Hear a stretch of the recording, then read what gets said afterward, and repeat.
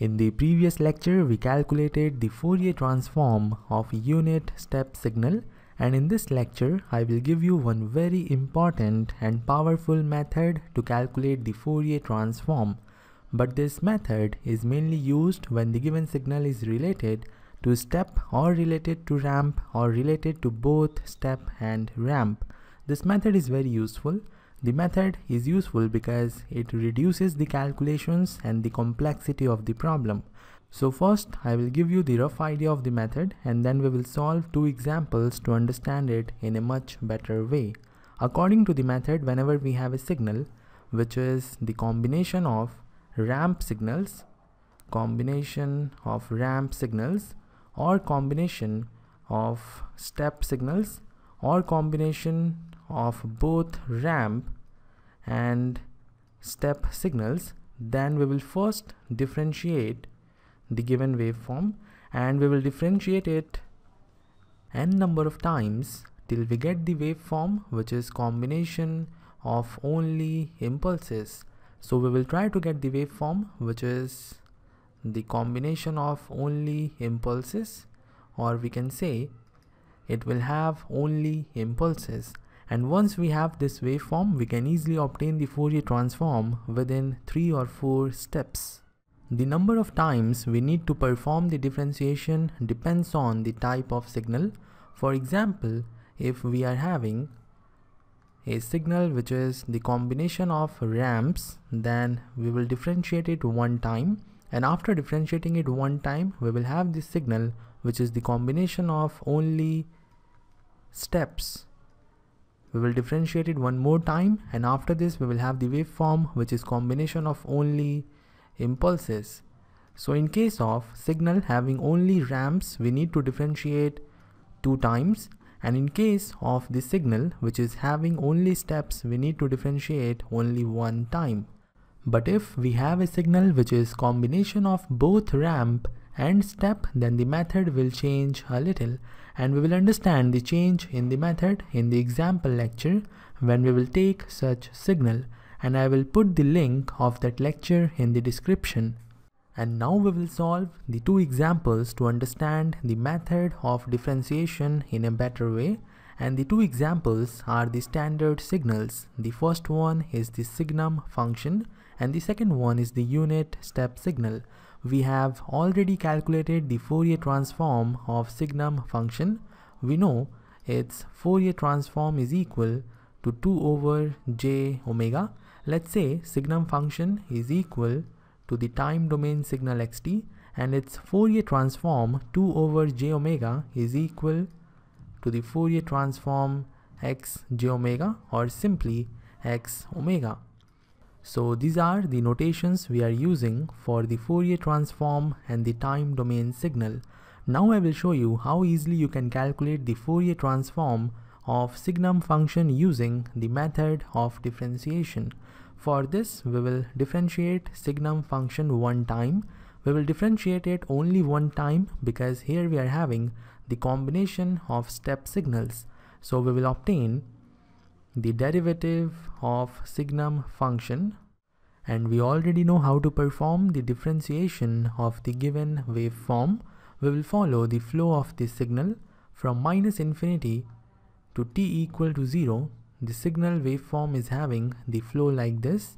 It is equal to minus 1 which is a constant value and therefore the slope is equal to 0. So from minus infinity to 0 dxt over dt which is also the slope of the signal xt which is signum function is equal to 0 so we will have the waveform like this. After that when t is equal to 0 the flow of the signal is like this. And you can see it is a straight line which is making 90 degree from the time axis in anti-clockwise direction. This means the slope is equal to infinity and the infinity slope we represent using the impulse signal and the area or the strength of the impulse signal will be equal to the discontinuity we are having here and the discontinuity is equal to 2. 1 minus minus 1 is equal to 2 So the strength of the signal is equal to 2. We are having the positive sign here because there is upward level switching. You can see the arrow, it is upward, therefore we have the positive sign here. After that, if we follow the flow of the signal, again the signal value is constant at 1.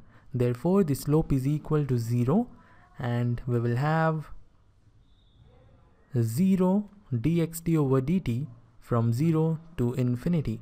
So this is the waveform of dxt over dt and you can see in the waveform we are having only one impulse signal present at t equal to 0. So from here we can easily obtain the Fourier transform of the signum function. Let's see what is the process. dxt over dt is equal to 2 multiplied to delta t minus 0. 2 is the strength and the impulse is present at t equal to 0. So we can write the derivative of xt equal to 2 times delta t. Now we will take Fourier transform on both the sides. Fourier transform of signal xt is equal to x omega. So x omega but here we are performing the differentiation of xt one time. Therefore, from the property of differentiation in time, we will multiply j omega to x omega.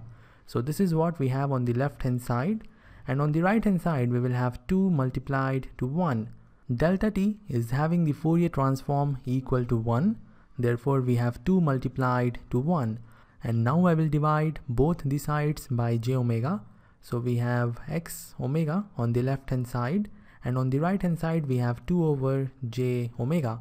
X omega was the Fourier transform of signum function and we have found it to be 2 over j omega which is correct. So you can see the process is very easy. We have easily obtained the Fourier transform of signum function and if you compare the lecture in which we calculated the Fourier transform of signum function, the whole process was complicated and time consuming.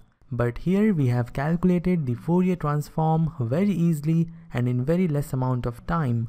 So this is all for the first example and now we will move to the second example.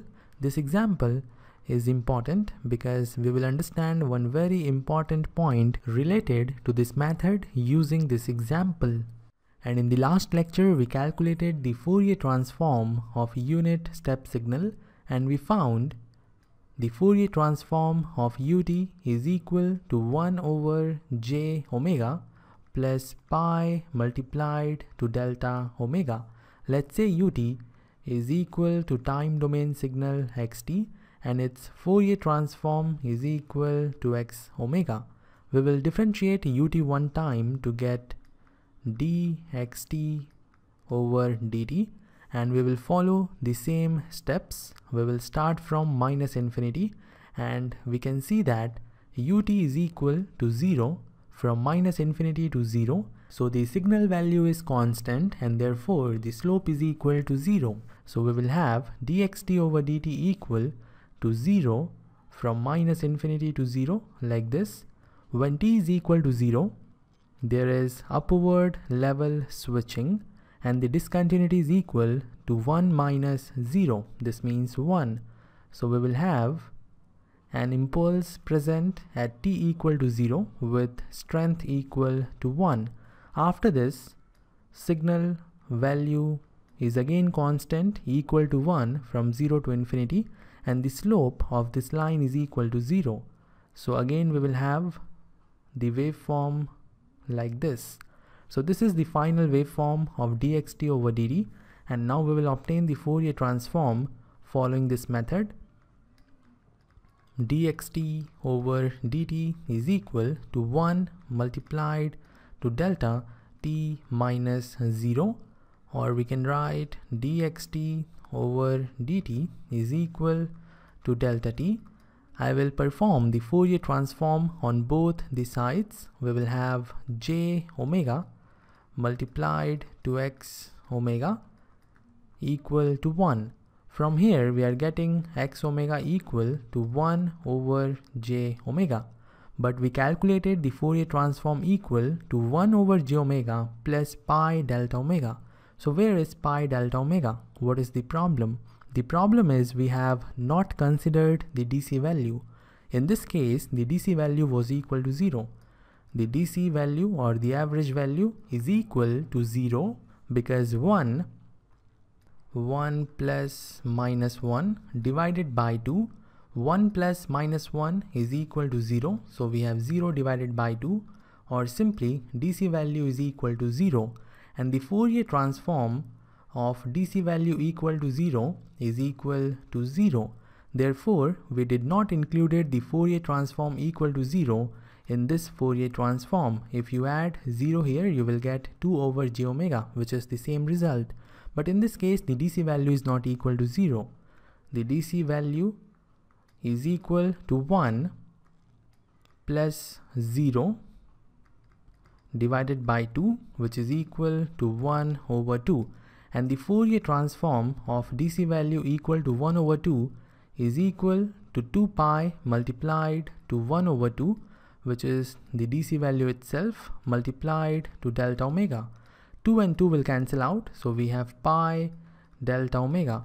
So this should be added to the Fourier transform we have obtained from here. So finally we are going to get x omega equal to 1 over j omega plus pi delta omega, pi delta omega. So in this way we have the correct Fourier transform. Now I will explain what actually happened after taking the derivative of xt. Xt was having the DC value equal to half and when you take the derivative of any DC value it becomes 0. So in this plot the DC value is equal to 0 because after differentiation it became 0 but in original signal whose Fourier transform we are calculating is having the DC value equal to 1 by 2. So always check DC value first whether it is equal to 0 or not. If it is 0 then there is no need to include it along with the Fourier transform you are getting after differentiation. But if it is non-zero then you first calculate the Fourier transform of the non-zero DC value and then add it to the Fourier transform you are having after differentiation.